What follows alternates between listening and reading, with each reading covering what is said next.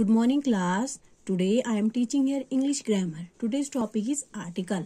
Article are two types. Number one indefinite articles. Indefinite articles are a n. Number two definite articles. Definite article is the. Now I am explaining here about the use of articles. Number one article. Article is used before uh, when a word is begins with consonant. Here B O K book book word is begin with consonant word. So we use here a article. A book a cat a mango. Now uh, next word is an article. An article is uh, used before uh, a word which begins with um, any vowel uh, for example an ox an egg an elephant number 3 the article. The article used before uh, definite things. The sun the moon the ganga. These all are definite things.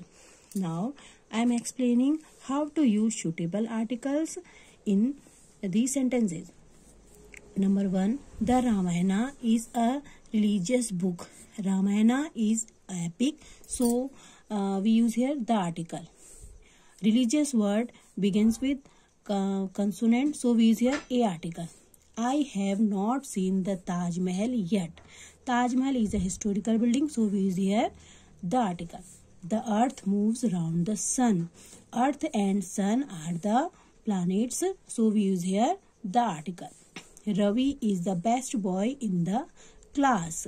Best is the superlative degree of ad adjective, so we use here the article. Class, the class. The cow is a useful animal. Um, here we use a article before.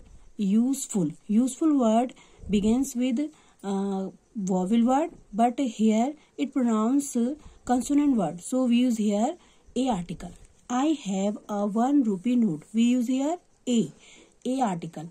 The moon takes its lights from the sun. Moon is a satellite so we use here the article sun is a planet we use here the article the Ganga is a holy river.